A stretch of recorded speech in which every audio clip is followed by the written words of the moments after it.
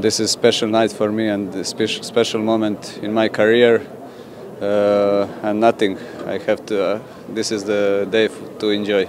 Luka Modric, who is best known as the superstar professional soccer player for Real Madrid and captains the Croatian national team, has managed to snag some pretty luxurious real estate, including a pair of luxurious homes in Madrid, Spain, and a villa in his home nation of Dubrovnik, Croatia. Luka's recent purchase includes a brand new 12 million euros home in La Moraleja, an elite district in the Spanish capital. The house features a whopping 9 bathrooms and a cinema in the basement, while the Dubrovnik villa was purchased for 15 million euros and features a panoramic panoramic terrace overlooking the old city of Dubrovnik and the Adriatic Sea. We will take a quick look at Luka's childhood home, plus these two other stunners. Ladies and gentlemen, this is a house tour that you do not want to miss. Now, in these videos, we don't reveal any real addresses, and even though we've done house tours of our own, please do not show up at any private residences because it is not safe for anybody. Luka had quite the lucrative career, killing it in professional soccer, garnering a net worth of $75 million. The veteran midfielder's salary and earnings are well deserved as analysts generally see Luka as one of the best midfielders of all time, and he is widely recognized as the greatest Croatian player to ever strap on a pair of soccer cleats. Luka has earned a number of notable transfer deals over the course of his career, moving to Tottenham Hotspur for the Premier League in 2008 for a then record transfer fee of $26 million or 16.5 million euros, before moving to Real Madrid in La Liga in 2012 for a transfer fee of $39.3 million or 30 million euros. In addition, Luka also has lucrative endorsement deals with brands like Nike, Russell Brown, and Max TV. What's perhaps most impressive is that Luka has managed to have such a successful career despite having a very traumatic childhood. Luka was initially raised in a stone house owned by his grandmother and passed the time by shepherding goats as a five-year-old. In 1991,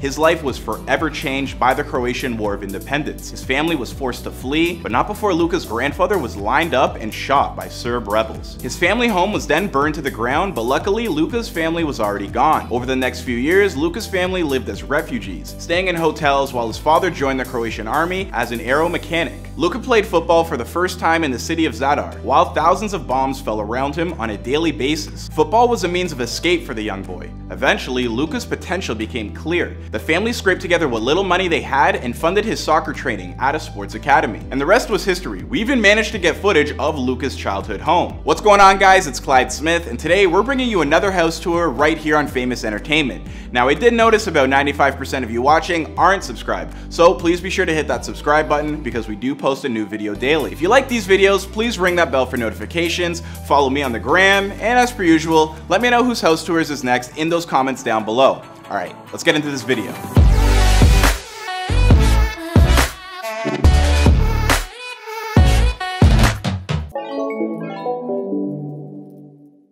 This recognition that I'm receiving uh, every day for me is something uh, really special and I am thankful uh, to everyone who is uh, there behind me always, who is supporting me and uh, yeah, thankful.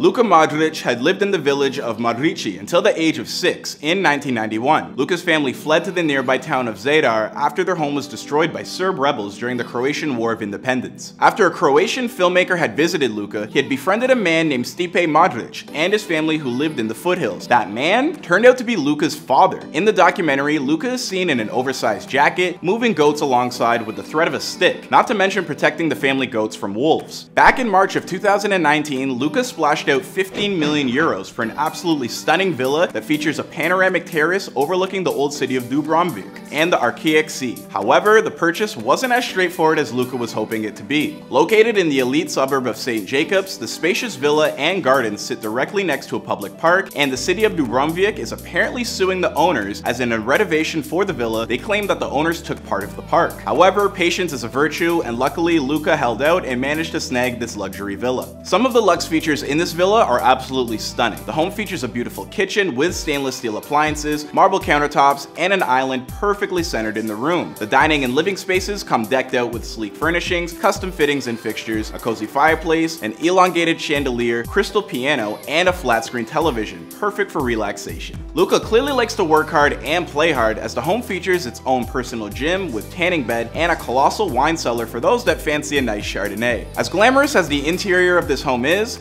the exterior exterior is the selling point of this villa. The villa features a two-story setup with an enormous terrace sporting views on top of a gorgeous infinity pool decked out with topical greenery and statues on the bottom. Steps from the stunning pool are a cobblestone path that leads to an enchanting gazebo that overlooks the Adriatic sea. Luka keeps a low profile, so not much was known when he moved to Madrid in 2012. Luka moved to La Moraleja, where many of his teammates already lived. However, he recently moved into a new house in the same area, and apparently this place was just too dope not to make headlines. The new and improved dig costs Luka around 12 million and features 10,000 square meters, with 2,700 of those being for the house, while the home boasts 9 bedrooms and 9 bathrooms. The majority of the house is lived on one floor with a kitchen, a bathroom, and 6 bedrooms, along with a massive living room. Luka keeps the theme of beautiful kitchens that feature stainless steel appliances, marble countertops, and an island perfectly centered in the room. In addition, the kitchen comes complete with a breakfast nook and a butler's pantry with more room than you know what to do with, while the living room features an abundance of lavish furnishings, sleek fireplace, and a wet bar perfect for relaxation. The master suite features a sitting area, cozy fireplace, and a private balcony access with spectacular views. In addition, the master suite features a walk-in closet big enough to pose as an additional room in the house, while the ensuite bathroom features dual sinks, a large soaking tub that boasts views of the grounds, and a large standing shower